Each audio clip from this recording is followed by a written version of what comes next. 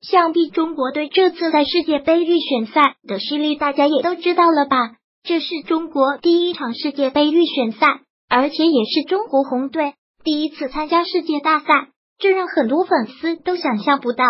毕竟之前的蓝队刚刚拿到亚运会冠军，即便是亚洲和世界有差距，但是红队的表现还是有点让人失望的。而很多粉丝也是把这次球队失利的原因归结给了郭艾伦。首先，咱们来看一下郭艾伦的数据。郭艾伦全场比赛拿到了零分二助攻二失误，显然这不是一个顶级控卫应该拿到的数据。而且，即便是之前的世界大赛，郭艾伦也没有表现的这么差。那么，到底是什么原因让 CBA 第一控卫的表现一落千丈呢？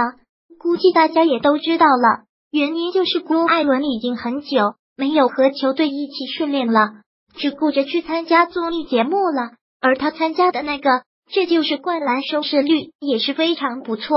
和林书豪、周杰伦还有李易峰也是相处的不错。有些网友就表示，郭艾伦完全是被周杰伦带坏了。毕竟近朱者赤，近墨者黑啊。还有人说，郭艾伦估计会成为下一个宁泽涛了。不知道大家怎么看完这场比赛之后有什么感想呢？欢迎大家在评论区留言。